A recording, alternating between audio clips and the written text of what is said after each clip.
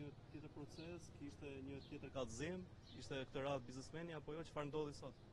Dhe sot është vazhdimi i sagës së intimidimit nga ana e Erion Veliajt dhe partnerëve të tij, në atë që është një për mendimin tim është një aferë akoma e pasbardhur, që është ajo e incineratorëve. Ë kësaj here bëhet fjalë për kompaninë italiane Bruno Presezzi, e cila është një kompani e përfolur si e përfshirë atë që quhet inceneratori inekzistent i Tiranës, e cila pas padisë e cila u pasua me tërheqjen e kryebashkiakut të Tiranës Erion Veliaj, sot është radha e aleatëve të tij, partnerëve të tij në biznes, është pikërisht kompania italiane, e cila ka vendosur kësaj here ndryshe nga Erion Veliaj që më paditi mua se kam bërë unë si gazetar një pyetje provokative, sot Kemi një tjetër zhvillim akoma më interesant. Sot unë si gazetar akuzohem se kur kam bërë dhe kur kam folur kam përdorur ironinë. Pra, në Shqipëri, pas pyetjes provokative, e cila konsiderohet shpifje nga ana e Erion Veliajt, kompania italiane ka shkuar më tej. Më akuzon mua se unë jam ironik nga natyra. Në fakt ka një farë drejtë, unë për natyrë E kam ironinë, por ironia zakonisht quhet si oksigjeni i mendjes, është forma më e lartë e humorit. Njihet në në gazetari, në kinematografi, njihet në në të gjitha si në format e artit të shf, e, e të folurit dhe të shprehjes. Por situata në kuptimin këtu ndryshe nga njerëzit që nuk kanë humor, që kanë humor më saktë, këta kjo kompani nuk ka humor fare dhe përdorimin e një termi të vetëm, që në italisht njihet si prestanome, ose njerëzit që si me thënë japin vënë emrin e tyre në dispozicion për afera, kjo ironi është e papranueshme nga një kompani e cila në fakt u detyrohet qytetarëve shqiptarë një një shpjegim shumë më të madh se sa ironia ime, që ka të bëjë me e ekzistencën apo inekzistencën e asaj që quhet afera e inceneratorëve. Sot ishte seanca e parë, ishte seanca e ku ne u njohëm me atë me çfarë akuzohemi. Padia është e njëjta, jemi në të njëjtat gjurmë të asaj që ka bërë Erion Veliaj para dhe më pas u tërhoq pas përfundimit të zgjedhjeve të 14 majit, që bëhet fjalë për një padi për mua, për një shtetas italian të quajtur Gabriele Caffaroni Longinotti, i cili është partner i kompanisë Bruno Presezzi, ose më saktë ka qenë partner i kompanisë Bruno Presezzi dhe më pas për shkak të prishjes së pazareve të tyre Zotëria në fjalë doli publikisht me vullnetin e tij dhe deklaroi ato që ai kishte parë gjatë kohës që kishte bashkëpunuar me kompaninë në fjalë dhe me pronarin e kompanisë Alberto Presezzi dhe i akuzon ato se ata janë përfshirë bashkë me Erion Veliajn në atë që ne e quajmë si afera e inceneratorëve. Këto janë deklarimet e tij. Unë gazetari herën e parë u akuzova se bëra pyetje provokative, herën e dytë po akuzohem për të njëjtë material që ne kemi transmetuar mos gabojmë në datën e 1 mars të, të këtij viti. se kanë përdorur ironinë kur kanë prezantuar materialin. Gjithsesi, ë sot do ishte seanca e parë, seanca e dytë është në është lënë në në shtator, në gati në 20 shtator, mos gabohem avokat, po, 20 shtator.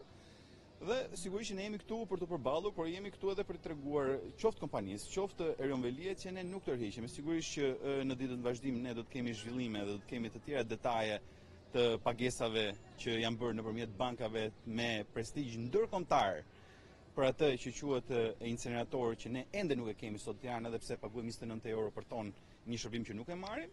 Gjithsesi, ë kjo është kjo është situata, është është tejet ironike, është tejet tejet, me thënë, ë shqetësuese deri në frikshme për mënyrën se si, me thënë, sistemi i drejtësisë në vend që të veprojë edhe të vë edhe të marrë në thirrje, pra prokuroria do duhet sot atë dëshmi që unë kam dhënë si gazetar, do duhet ta niste kryesisht si investigim, do duhet ta merrte zotërinë në fjalë, ta pyeste ore çfarë janë këto deklarata që ke bërë, sepse bëhet fjalë për paratë e taksapaguesve shqiptarë. Në vend që të merremi me këtë, ne sot kemi drejtësinë e cila është në dispozicion të Erion Veliajt, deri deri dje dhe sot kompanisë dhe partnerëve të Erion Veliajt, të paktën sipas deklarimit të Gabriele Taroni Longinotit, e cila në vend që të japin detaje, të japin shpjegime qytetarëve shqiptarë, më kërkojnë mua shpjegime pse përdor ironinë në komunikimin tim dhe në punën time si gazetar.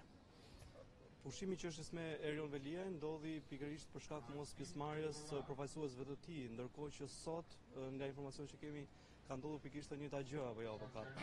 Po po, është dhe është lënë për një datë tjetër. A mos është edhe kjo një një shkuarje drejt pushimit?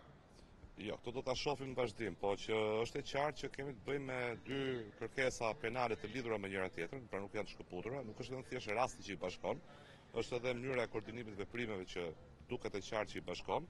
Kjo kërkesë është dorëzuar 11 maj, kurse gjyqi që Erion Veliaj braktisi ishte e datës 22 maj, pra do të thotë në momentin që ai e la atë gjyq pa zhvillim të mëtejshëm, ishte pikërisht kur e dinte se ishte hapur edhe kjo çështje. Është si pasimi i topit, le të themi.